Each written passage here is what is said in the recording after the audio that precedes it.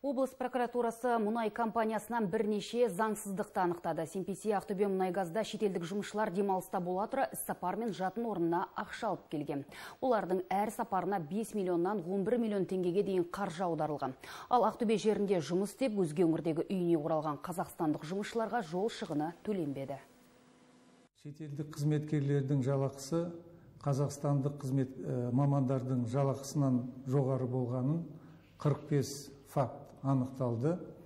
Жергілікті 96 жұмысшыға жұмысынан айырылуына байланысты 9 миллион теңгеден астам сомаға өтемақы төленбеді. Тексеру аяқталғаннан кейін кінәлі тұлғаларды жауапкершілікке тарту және барлық бұзушылықтарды жою үшін қадағалау актілерді енгіземіз. Сондай ақ сұйытылған газ бағасы да назарда болды. Тексеру кезінде Симписи Ақтөбе мұнайгаз және Қазақ Ойл Ақтөбе компанияларының тауар биржаларында сұйытылған газ бағасын көтергені анықтады. Заң бұзушылықтар жойылды, ал монополистерге 35 миллион теңге айыппұл салынды. Тағы 380 миллион теңге мемлекет пайдасына тәркіленді. Сондай ақ ауыл шаруашылығы мақсатындағы жер телімдерінің пайдаланылуы да тексерілді.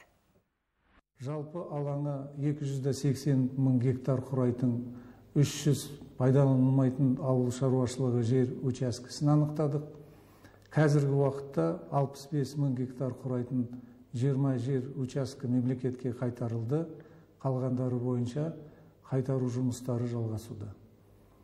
Бұл тілек білдірген кәсіпкерлерге бұрын игерілмеген ауыл шаруашылығы жерлерін алуға және пайдалуға мүмкіндік берді.